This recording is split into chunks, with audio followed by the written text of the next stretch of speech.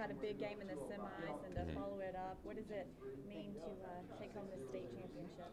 Well, it means everything because this is this is our goal for the whole season, and uh, all the conditioning, the hills we ran, the practices on Sundays, and uh, everything. It all leads to this, and it feels so good just to cap it off with a win. So, and bring Homewood its first state title. So it feels pretty amazing.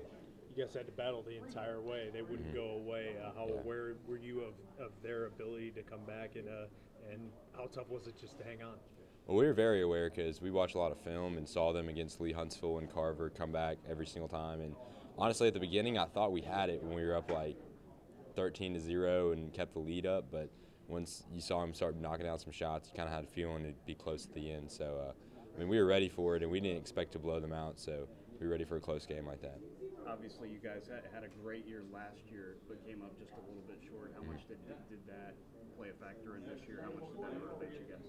I mean, it played a fa- it played a huge factor because it motivated us because we, we knew we wanted to finish it this year, and then we knew that we could get here, and we, we were one play away from going to the state title last year, so we knew we were good enough and we could do it. We just had to put a little extra work in and uh, get it done. So that's what we did this year. What does it mean to you to be the first ones to go down to state championship Homewood uh, boys basketball history? Feels pretty amazing. I mean, Coach Shepler's been here a while, and he's had some great teams, so it feels pretty incredible to cap it off the first one. So it feels great. Good deal. Cool. Thank you. Thank you.